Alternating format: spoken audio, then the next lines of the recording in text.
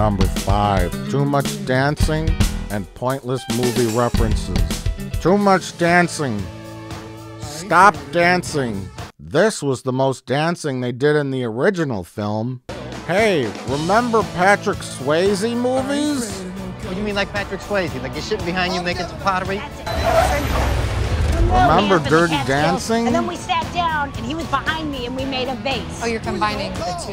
I combined Yeah. a couple of stories. Oh, you know what was a good one? Roadhouse. I- Remember Roadhouse? Point He was a, he was a point break. Come on, at the end with the big wave. He's a ghost in that too. Well, you don't know if you guys Stop dancing. Stop dancing. Remember Jaws? Please don't be like the mayor in Jaws. Remember Jaws? Never compare me to the Jaws mayor. Never! Remember Jaws? Remember Scarface? Say hello to my little. Remember Scarface? Say hello to my little friend! Remember Scarface? Remember Scarface? Say hello to my little friend! Say hello to my chocolate blend. Enough with the dancing. Remember The Exorcist?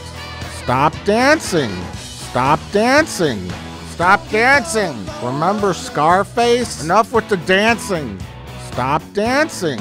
Remember Scarface? Stop dancing. Remember Scarface? Stop dancing. That was great. It was really good.